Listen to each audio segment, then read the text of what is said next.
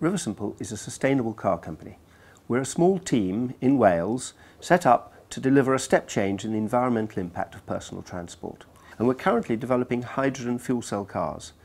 And this is because nothing can come close to the efficiency of a hydrogen vehicle for the sort of range to which we've become accustomed in a modern car. The Rasa isn't the first vehicle we've built. We've been developing the technology through three separate vehicle research programs over the last 15 years. We've had the opportunity to design a car entirely around the characteristics of fuel cell technology, rather than try and squeeze that technology into the architecture of conventional cars. But we've designed the car so that people take the car because they want it, not because of any eco-guilt. So it's great fun to drive. It's a really lightweight and nimble, precise chassis as well as a step change in efficiency, we need to make a step change in the environmental pollution caused by cars.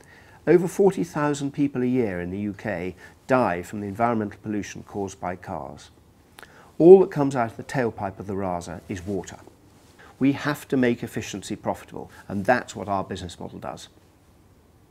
We'll never sell a car as a product. We'll only ever sell mobility as a service. So much like a mobile phone, it'll be a subscription service and customers will typically take a contract of one to three years. This completely changes our drivers as a business. It means that we have a direct interest in making the car as efficient as possible and the car lasting as long as possible. The more sustainable we make our cars, the more money we make. And that has got to be a good bet for an industry that is going to be able to ride the transition that we now face.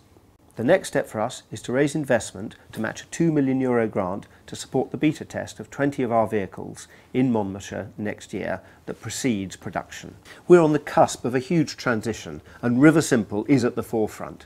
Join us now in the movement that is Riversimple.